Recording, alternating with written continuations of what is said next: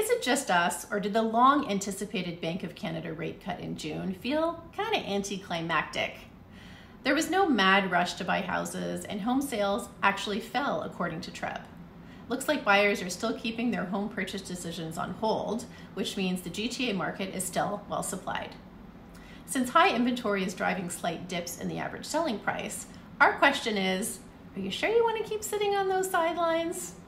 With a second 25 basis point cut hot off the press, the overnight rate is 4.5%, getting us closer to the cumulative rate cut sweet spot of 100 basis points. This is what TRREB President Jennifer Pearce says is needed to boost home sales, and we agree. If this trend continues, we could be looking at interest rates down to a far more manageable and attractive 4% by late fall. Fingers crossed. Let's review. Year over year, home sales in June declined by 16.4%, and new listings were up by 12.3%, helping to keep prices from rising. Although June's average selling price was down 1.6% over June of last year, there's a catch. Those prices were up compared to May of this year, which means if you sit on those sidelines much longer, those prices will continue to inch upwards each month. The longer you wait, the more you'll miss out on the huge negotiating power you hold right now.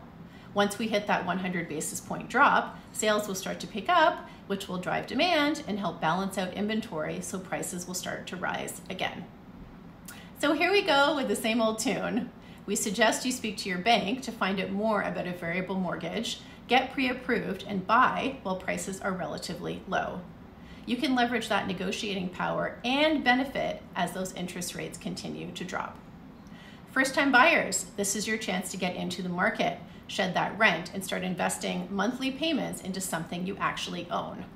If you can qualify for a mortgage, condo listings were up by more than 23%, with a crazy good average condo apartment selling price in the GTA of 657,000 and 763,000 in the city.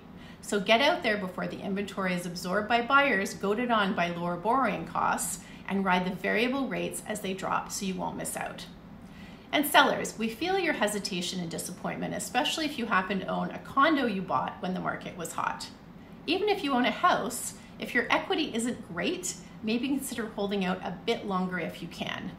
If your equity is good, you should probably list soonish. Remember, if sellers all get the same idea to list, they'll increase inventory, which increases the risk prices won't rise.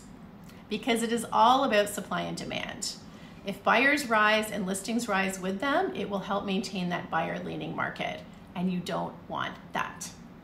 We know there's a lot of ifs here, so feel free to reach out to discuss your options.